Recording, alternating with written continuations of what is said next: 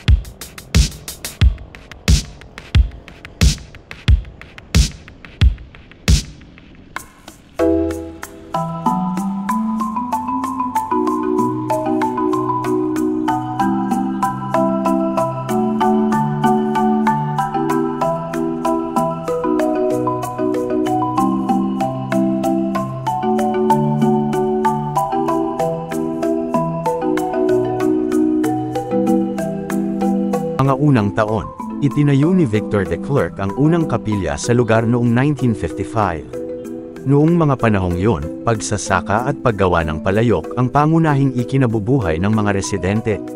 Dumami ang bilang ng mga residente at nagbago ang paraan ng pamumuhay nang magtayo ng mga bagong pabrika at mga subdibisyon ng tirahan. 1963 hanggang 1967 Noong ikadalawamput-tatlo ng Pebrero taong 1963, ang Arsobispo ng Maynila, Cardinal Rufino Santos ay lumikha ng isang kautusan na nagtayo ng parokya ng Santo Rosario de Pasig at naghiwalay dito sa Immaculate Conception Parish. Ito ay sa parehong taon nang si Vicente M. Planta ay naluklak bilang unang kura paroko. Pinangunahan niya ang pagbuo ng iba't ibang organisasyon tulad ng Legion of Mary, Catholic Women's League, Young Christian Workers at iba pang grupo. Siya ay nanatili sa Philippine Orthopedic Center na ngayon ay National Orthopedic Hospital, dahil wala pang rectory noong panahong iyon. Noong 1965, bumili ang Archdiocese of Manila ng 2,000 square meters na lote. Dalawang ektarya nito ang naibigay sa mga parokya ng Cainta at Santo Rosario para sa mga layuning pang-agrikultura. 1967 hanggang 1979. Naluklak si Teodoro Perez bilang bagong kura paroko noong 1967. Wala pa ring rectory, kaya nanatili siya sa Immaculate Conception Parish sa Pasig ng kalahating taon. Noong ikasampu ng Pebrero taong 1967, Isang bagong simbahan at kumbento ang itinayo matapos ibenta ang lote na nakuha mula sa Immaculate Conception Parish sa Pasig, fundraising, at partisipasyon ng Pastoral Council sa ilalim ni Sebastian Sandoval. Nanalo ang J. Mahares Construction sa bid para itayo ito. Noong ikasampu ng Oktubre taong 1970, idinaos ang unang misa sa ilalim ng pangangasiwa ng Parish Council sa pamumuno ni Oscar F. Zapanta. Binasbasa ng Arsobispo ng Maynila na si Cardinal Rufino Santos ang simbahan noong ikadalawamputsyam ng Pebrero taong 1971 sa ilalim ng patronage ng Our Lady of the Holy Rosary. Ang araw ng kapistahan ay ipinagdiriwang sa isang linggo na pinakamalapit sa ikapito ng Oktubre. Mga pagsasaayos, 1987 hanggang 1991 Isang tatlong palapag na gusali sa tabi ng simbahan ang natapos sa panunungkulan ni Julio Cesar M. Manalo bilang kura paroko. 1991 hanggang 1996. Ang Blessed Sacrament Chapel ay itinayo at binasbasa ni Obispo Protasio G. Gangan noong ikaapat ng Setyembre taong 1972. Ang harapan ng simbahan ay pinaganda ng Adoration Nocturna Filipina Rosario Chapter. Ang muling pagpipinta ng simbahan ay ginawa rin. 1996 hanggang 2000. Ang altar ay muling pininturahan at ang buong simbahan at rectory ay binago.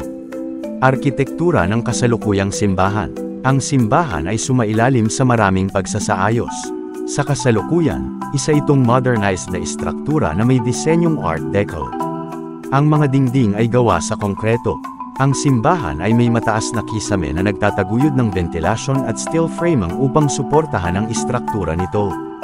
Dahil ito ay mahusay na ilaw, hindi nito kailangan ng artipisyal na pag-iilaw sa araw. Ang stained glass ay ginagamit para sa mga bintana. Pilgrim Church ang Santo ang Rosario de Pasig ay idiniklara ni Pope Francis bilang Pilgrim Church sa isang papal decree na may petsang ikalabimpito ng Abril taong 2013 para markahan ang ikalimampung anibersaryo nito at ipagdiwang ang Jubilee Year na magtatapos sa ikapito ng Oktubre taong 2014. Ang Jubilee Door ng simbahan ay simbolo ng pagpasok ng ang mga peregrino sa makasaysayang taon ng Jubileo. Ang iba pang tatlong pilgrim churches na sakop ng Pasig Diocese ay ang Shrine of St. Anne sa Santa Ana, Taguig, Parokya ng Santo Tomas de Villanueva sa Santolan, Pasig, at Our Lady of the Holy Rosary Parish sa Lower Bikutan, Taguig.